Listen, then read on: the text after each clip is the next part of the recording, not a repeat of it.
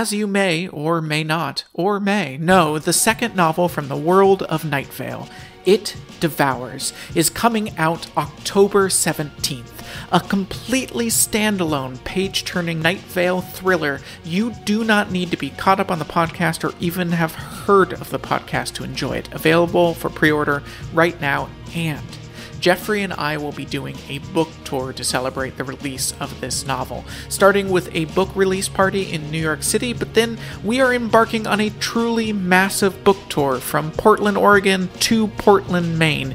If you live in a major city in the US, yes, we're probably coming to you. LA? Yes. Boston? Sure. Madison, Wisconsin? Hell yes. And even if you live in, say, Santa Cruz, Lansing, Iowa City, Ann Arbor, Rhinebeck, yes, we're coming to you too. We're doing almost 30 cities on this book tour. So if you live in the continental US, east, west, south, north, head over to welcometonightvale.com and click on books to see the closest event to you. These events will be Jeffrey and I discussing Night Vale with a whole variety of interesting folks, and then talking to you and signing your books. But what about the famous Night Vale Fullcast live show? Well, don't miss Night Vale Live on tour this September and October in Europe and this November and December in Texas, the Southwest, and the West Coast, and January and February in New Zealand and Australia, culminating in a show on the main stage of the Sydney Opera House. What is happening in this world? If you haven't seen a Night Vale live show, I don't know, you've really missed out on something special. And if you have seen one, we bring an entirely brand new show every time we return to town. See something you've never seen before. Welcome to nightvale.com and click on live shows. Stay tuned after this episode for a special peek at the new Night Vale Presents podcast, Conversations with People Who Hate Me. And hey, thanks. If you see something crawling across your floor in the dark, don't worry. It's probably just a tarantula. Welcome to Night Vale.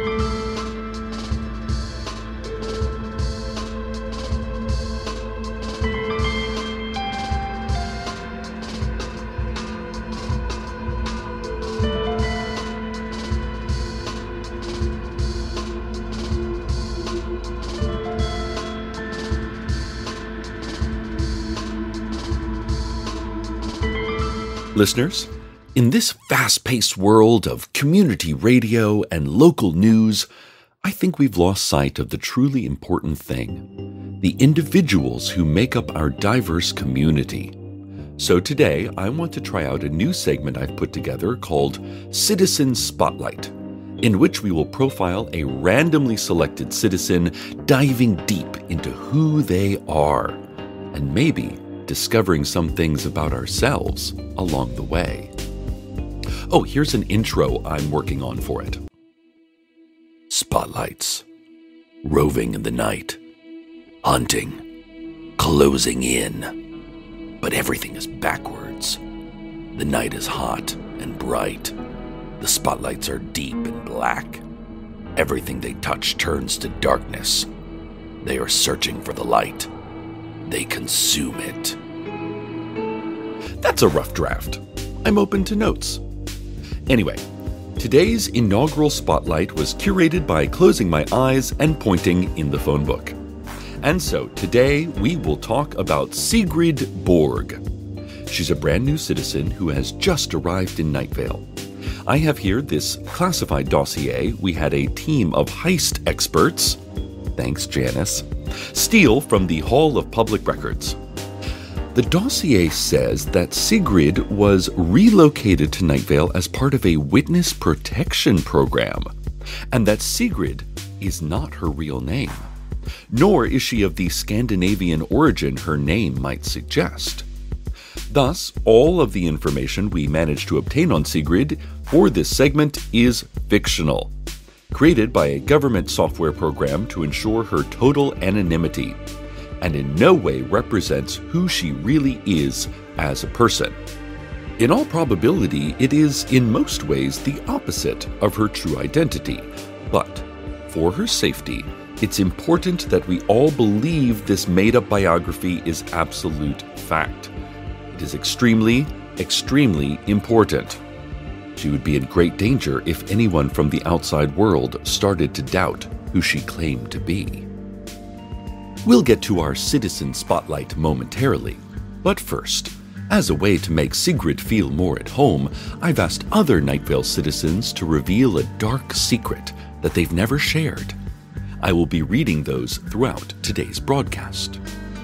The first comes from Susan Escobar, second grade teacher at Nightvale Elementary School. She writes One night, I was at school late, grading homework and I heard strange sounds coming from the cafeteria. When I looked inside, I saw a giant mandala on the floor made entirely of frozen fish sticks. It seemed to be undulating and alive. When I blinked, it vanished.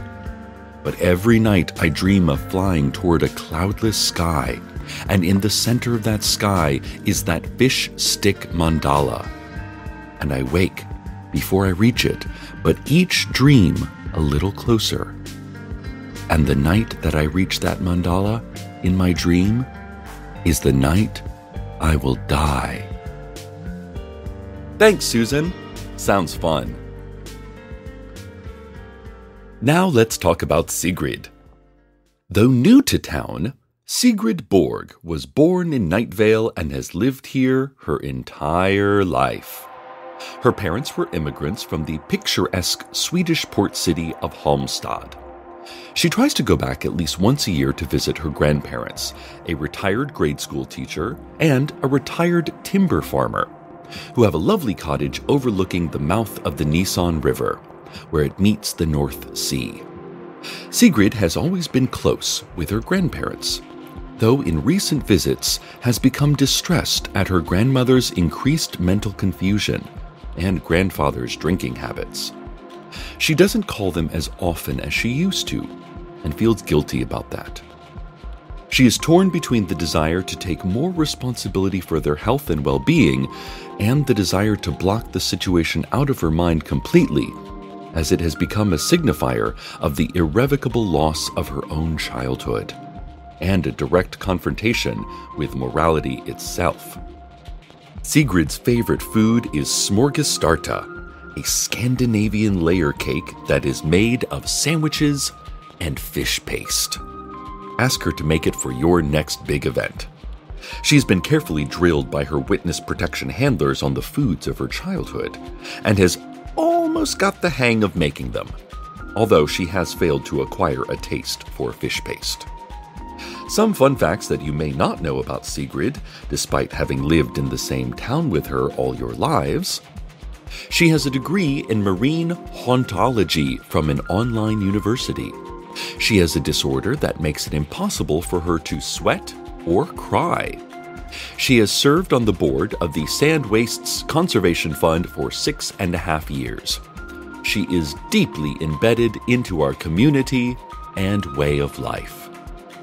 And now, another confession from a local resident about a dark secret. This one from my dear friend, Earl Harlan. It reads On a Boy Scout training maneuver near the old dirt road, I witnessed the apparition of my 10 year old self, wearing the scout uniform of my youth. He trained with us all afternoon, and I tried not to give him any preferential treatment.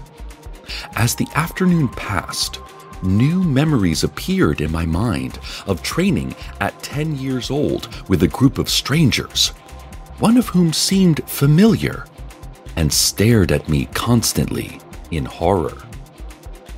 That's adorable. Thanks, Earl. Back to Citizen Spotlight. Sigrid spent her childhood in the hefty Sycamore Trailer Park near downtown. She didn't have many friends. She was shy in school. One year, she tried out for a solo in the school holiday pageant. For the audition, she sang a Flaky O's jingle that was very popular at the time, but no one took her seriously. They all thought she was making a joke. She apologized and faded back into the bleachers. She truly loved that jingle, it spoke to her soul. It made her feel something.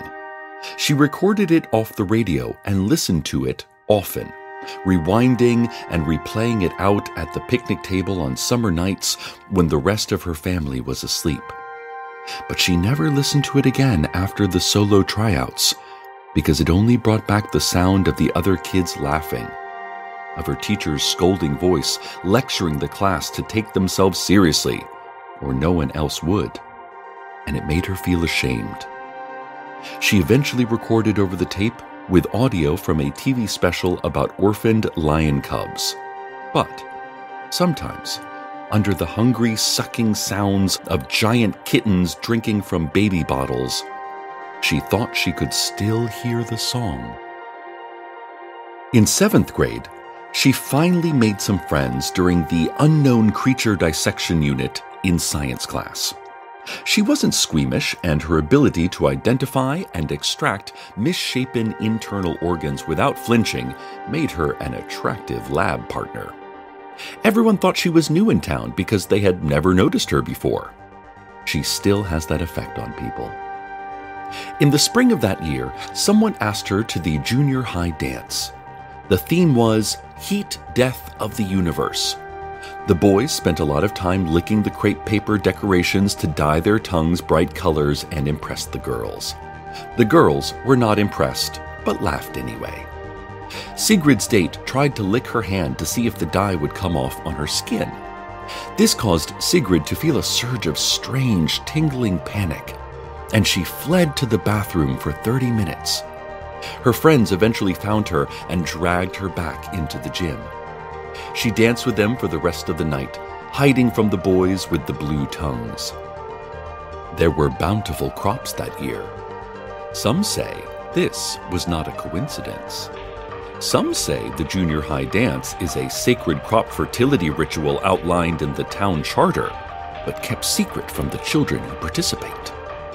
When the dance was canceled in the following years due to the crepe paper dye related poisoning incident, Night Vale experienced extreme drought and locust plagues. Some say this too was not a coincidence. A quick bulletin board reminder the reinstated junior high dance is coming up. May all you young citizens make lush and plentiful memories and have a cornucopia of fun. More Citizen Spotlight soon, but first, the weather.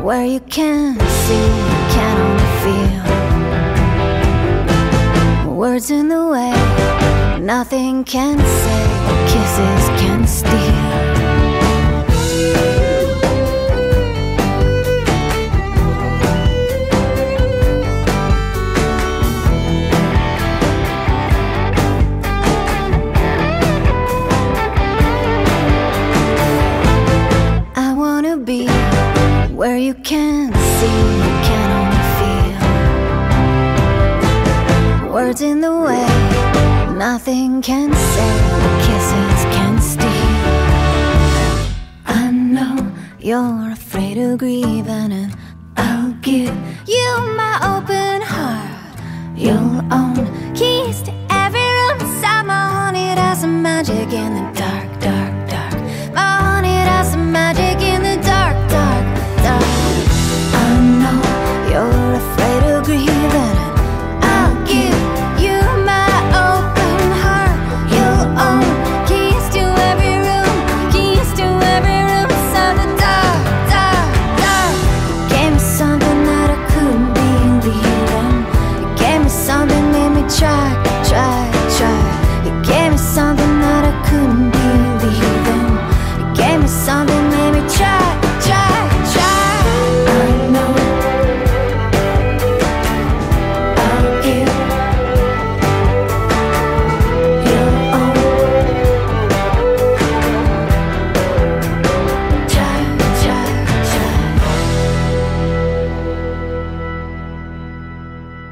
Another secret confession.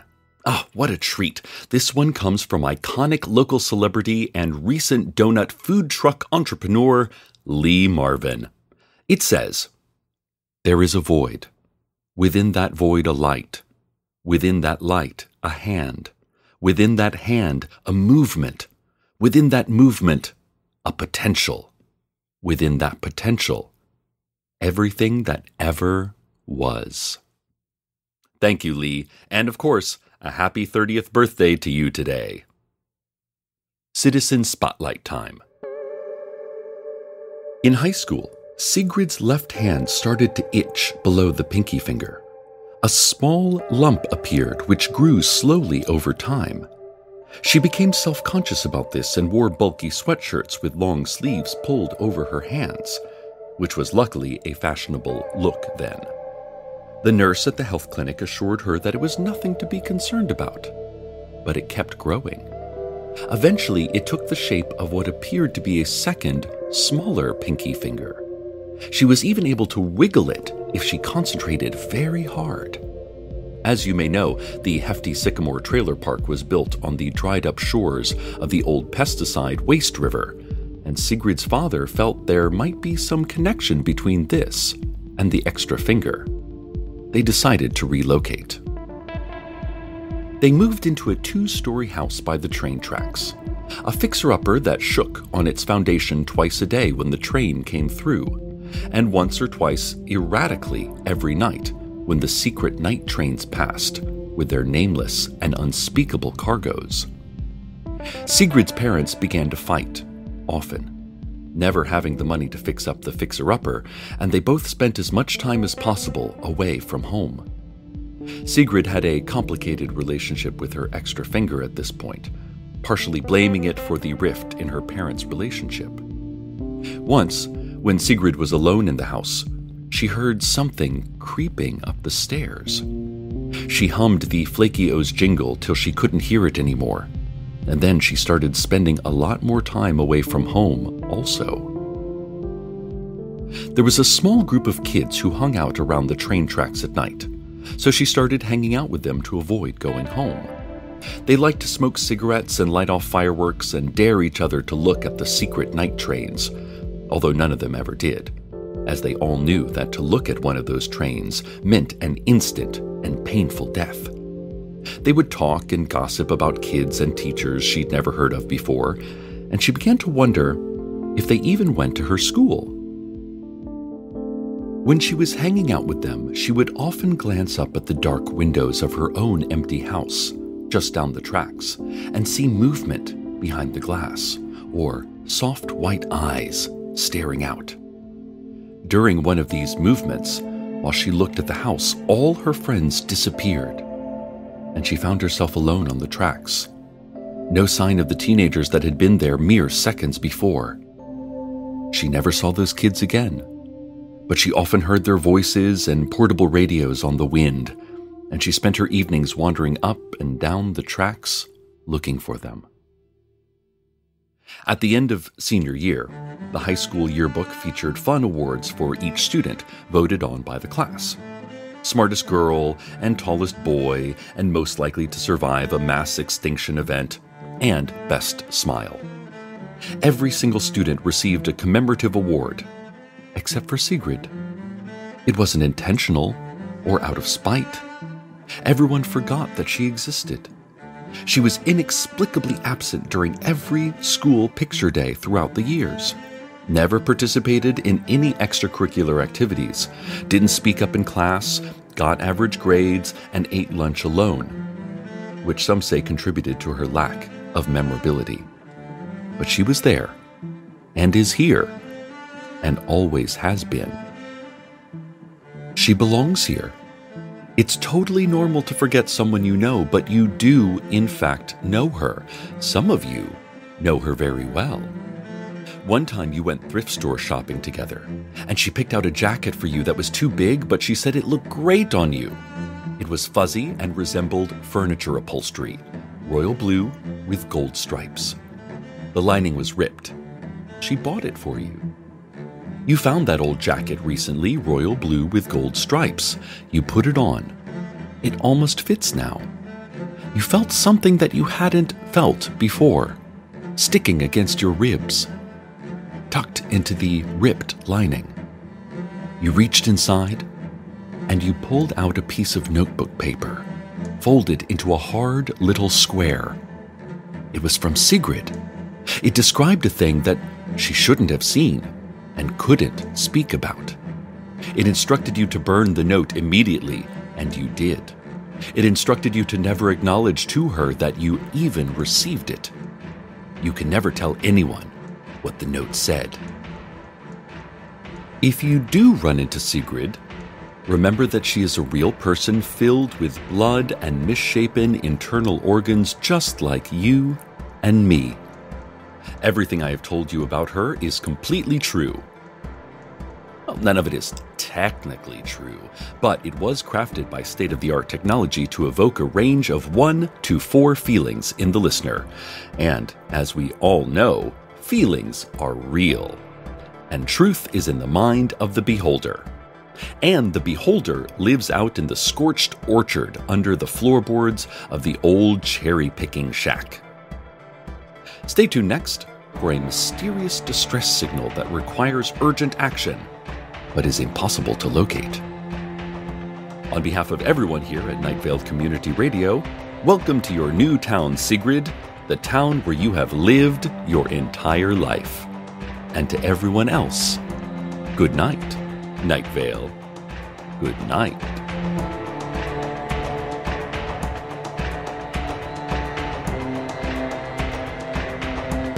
Welcome to Night Vale is a production of Night Vale Presents. This episode was written by Brie Williams with Joseph Fink and Jeffrey Cranor and produced by Joseph Fink. The voice of Night Vale is Cecil Baldwin. Original music by Disparition. All of it can be found at disparition.info or at disparition.bandcamp.com. This episode's weather was Try, Try, Try by Rachel Sage. Find out more at rachelsage.com. Comments, questions, email us at info at welcometonightvale.com or follow us on Twitter at Nightvale Radio or shout kind words at a chipmunk as it scampers through your yard. Check out welcometonightvale.com for more information on this show and our upcoming book tour, which is probably coming where you live, if you live anywhere. Today's proverb Be yourself, as if you had any choice in the matter.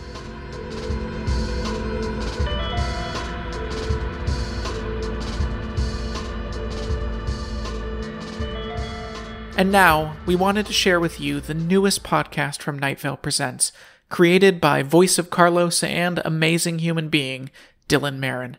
I give you Conversations with People Who Hate Me. Josh, you said that you're about to graduate high school, right? Mm-hmm. How is high school for you? Am I allowed to use the HE double hockey stick word? Oh, yeah, you're allowed to. It was hell. Really? And it's still hell right now, even though it's only two weeks left. That's awful. I mean, I also just want to let you know, Josh, I was bullied in high school too.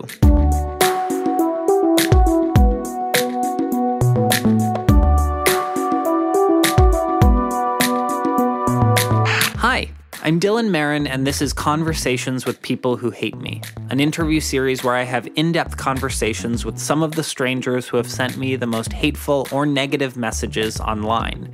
Why did they send these messages? Well, that's essentially what this podcast is trying to figure out. As a video maker and writer, my work focuses on social justice issues, and I've been fortunate enough to find a large audience for that work, but that of course means that I found a lot of detractors too.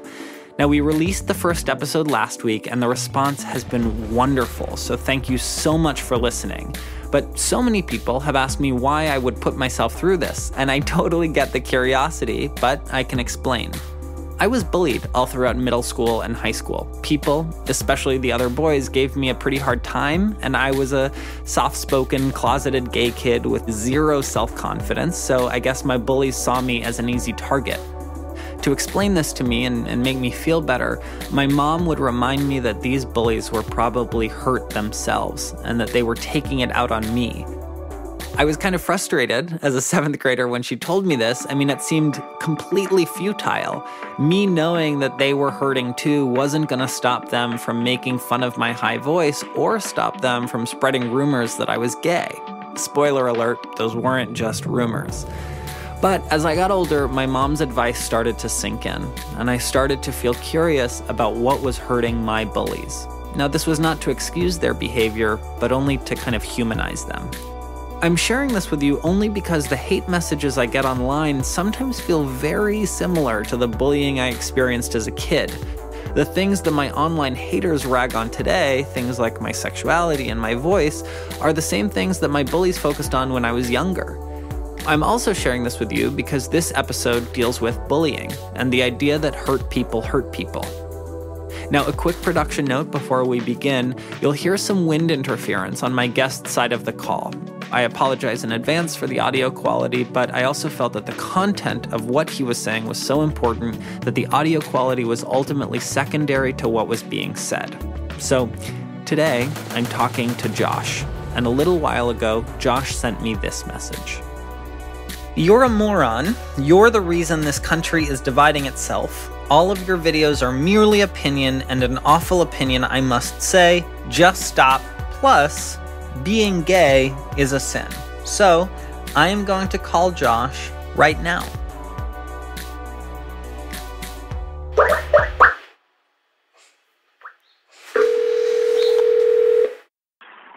Hey, is this Josh? Hey, yeah, it is. How's your day going so far?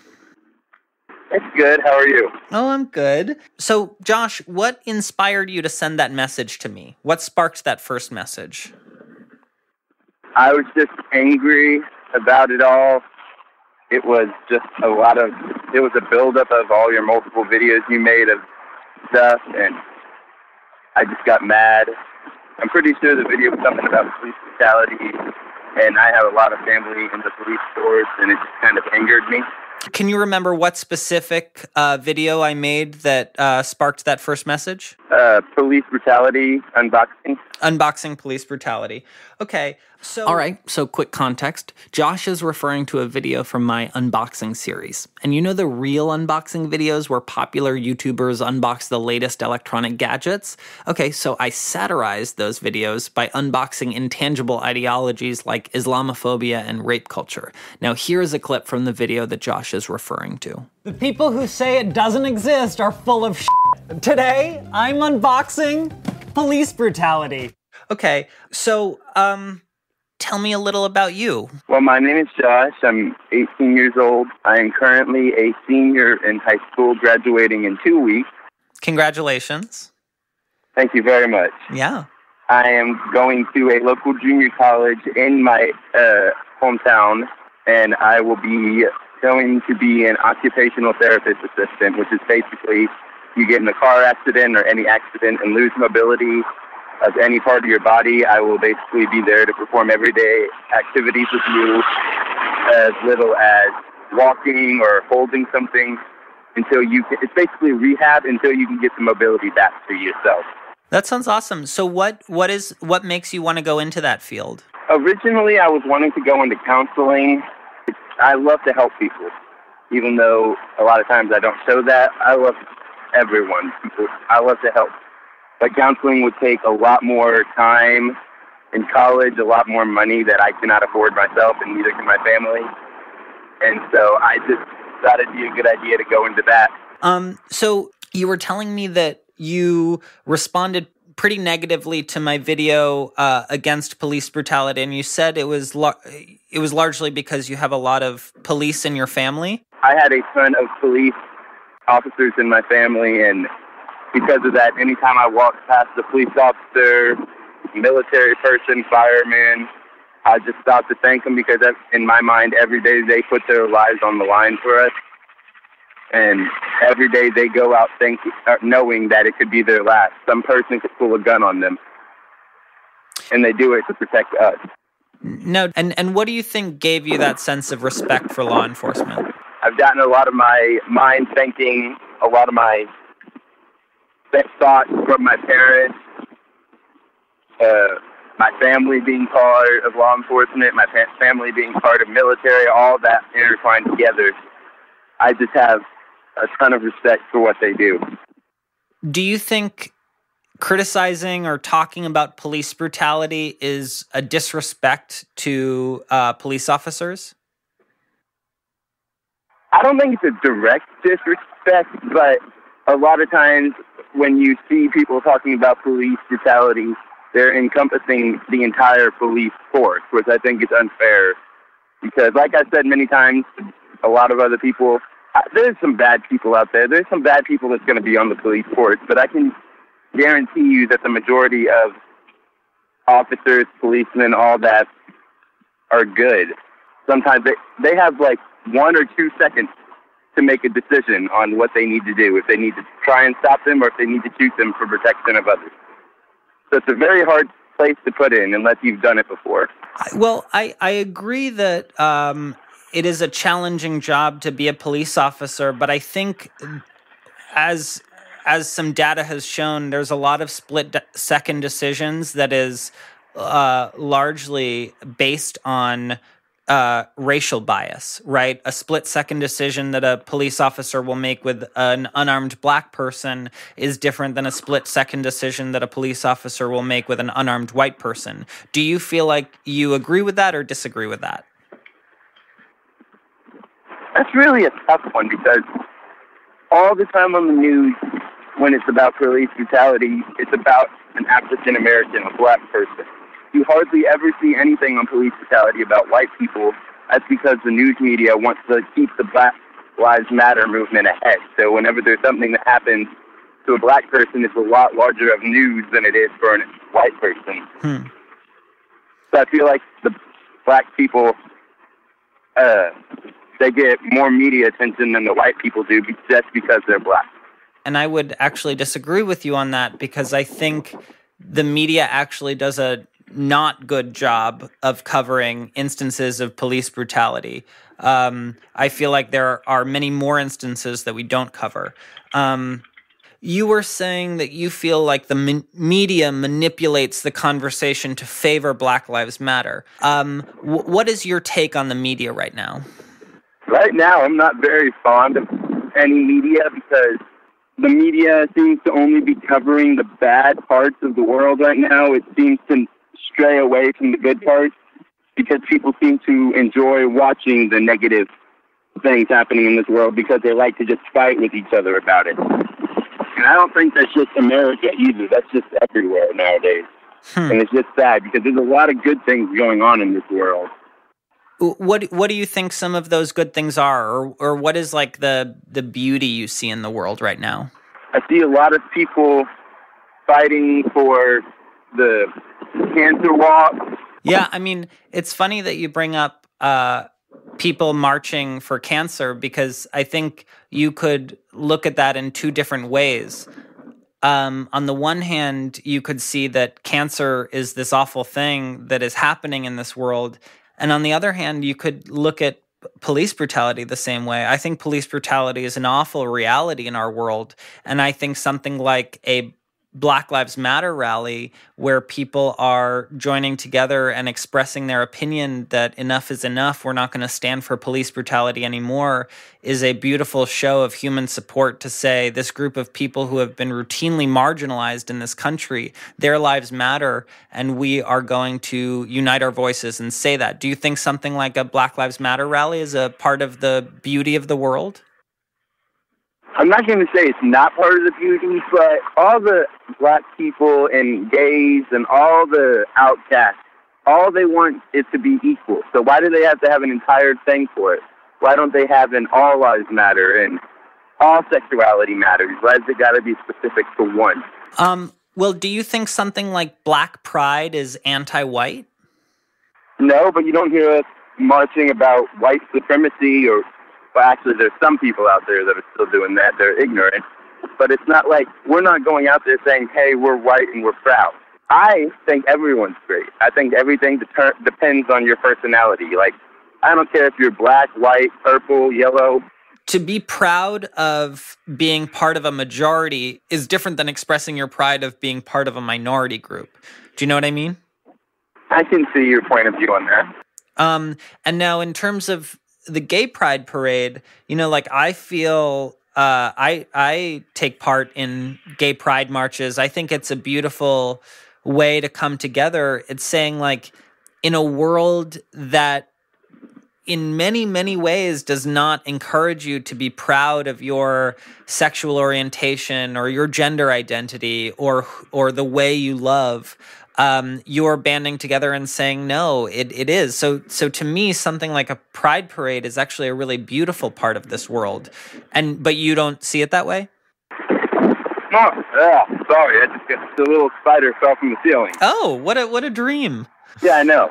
Uh, i'm not saying that it's not a beautiful thing. I'm saying that i don't think we should like answer me this all gay people, transgender people, all of them, they want to be equal as us, correct? As straight people, as all of the world sees normal.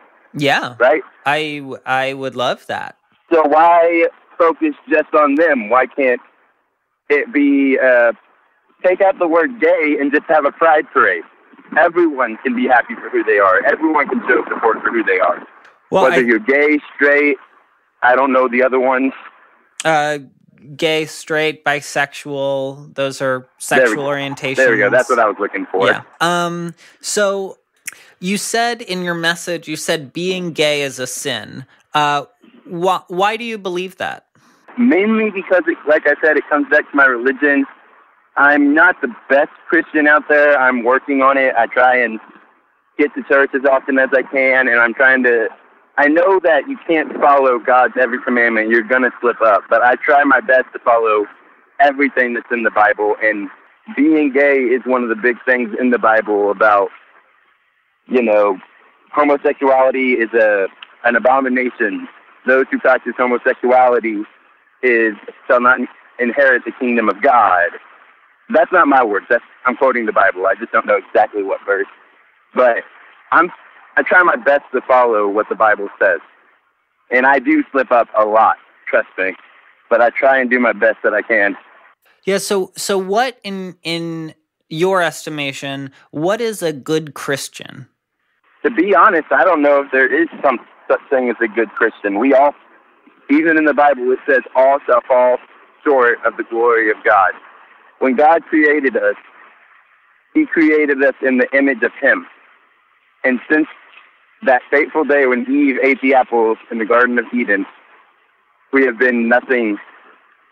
We've been nothing compared to what he is. And I think if you want to consider yourself a good Christian, it's just do whatever you can for the God. Give whatever you can to God. Pray to God. Go to church. And when you slip up, all you have to do is ask for forgiveness.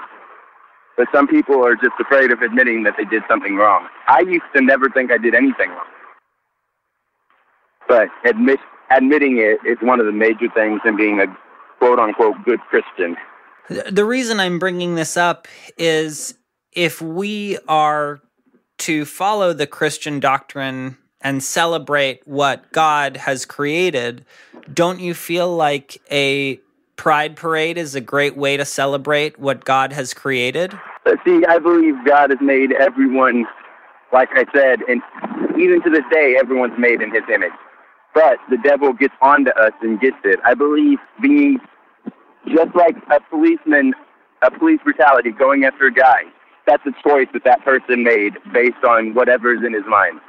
In my mind, I believe that being gay is a choice. Okay. So you think I don't mean to offend you. No, I, I don't I don't feel offended only because I, I know that I didn't choose this. Um, and I, it's helpful to just hear what you believe, even if it is uh, in direct opposition to what I know is true for me. Um, so so just out of curiosity, why did you tack that to the end of your message? You at the very end, uh, you said that being gay is a sin. W- Why did you want me to hear that? Uh, like I said, I was angry. I was. Humans tend to type and say things out of anger that they wouldn't normally say. So I was basically, unfortunately, trying to hurt you. And it came back and bit me in the butt. So you feel like you're more right leaning, more conservative, right? I, yes, sir. I feel like I'm conservative. Josh, you said that you're about to graduate high school, right? hmm How is high school for you? Am I allowed to use the HE double hockey stick word? Oh, yeah, you're allowed to. It was hell. Really? and it's still hell right now, even though it's only two weeks left. How have the last four years been hell? when you're different in any shape, form, or way, if you're not the quote unquote popular girls, popular guys, football players, then you're not well liked. And I'm a little bit chubbier than a lot of people, and people seem to judge me before they get to know me. People seem to pick and choose who they like based on what you look like, who you are, rather, or what you look like rather than who you are because when you're in high school, it's all about perfection. If you get your clothes from Walmart, you're an outcast. If you don't have the hottest new clothes, you're an outcast. I'm a little bit bigger. I don't like to use the word fat, but I am a little bit bigger than a lot of my classmates, and they seem to judge me before they even got to know me. I've been called a fat ass. I don't know if I can say that. Yeah, you're you're allowed to. Okay. I've been called stupid, idiotic. I've been told nobody cares about me. I've been told to b- drink bleach. Just yesterday, someone told me I was ugly as hell. I don't exactly know how ugly hell is, but I don't think it's pretty. Well, I mean that that's awful of them. I mean, I also just want to let you know, Josh, I was bullied in high school too. The older guys were always the ones who gave me a really hard time, and I will share something with you that happened one time in high school. Um, so this was um, my best friend at the time. She was a girl, and she was dating this guy who was older than us, and he really didn't like me, and I knew he didn't like me from the beginning. Um, and it was on Halloween, and we all came to school in our costumes, and I dressed up as Waldo. You know, like Where's Waldo? Yeah. Um, and he was dressed up as a baseball player, and he had a full baseball player's outfit. So um, he asked to take a picture with me. Suddenly, what he did was right before the picture was taken, uh, he pulled his cup out from his underwear and pressed it on my face. And so, immortalized forever in a picture that then hung in that best friend's room was a picture of him uh, holding his cup over my face. Did she stay with him? I think they broke up a few months later, but it that did not break them up. Um, Yeah. I feel like I'm about to break into a sweat even telling you about it right now. But just to let you know that I have experienced um, a really fucked up form of bullying too. Mm-hmm. It's it's it's this conversation is kind of weird for me because I feel like there is so much to you that I relate to, right? There's I Mhm. relate to the fact that you're bullied. Um, I relate to the fact that people kind of give you a hard time for who you are, and yet there are such fundamental things that we disagree on. hmm Do you feel that we're similar, or do you feel like that's that's an unfair assertion? I think we're similar, but like you said, we have very different. We have similar lives, but very different beliefs. You're bullied, I'm bullied, but it's not for the same reason. Right. But I would actually argue and say that it is for a similar reason. I I think people um, are very are very cruel to what they don't understand, right? Mm-hmm. And uh, you know, just to point out the irony of this, you wrote me a message that was pretty mean and it seems like it is a way that both you and I have been spoken to in high school. How did you feel writing this message to me? I just wanted to make you as mad or sad as possible, and like I said, it bit me in the butt. Well, you know, Josh, there's this phrase, um, hurt people hurt people.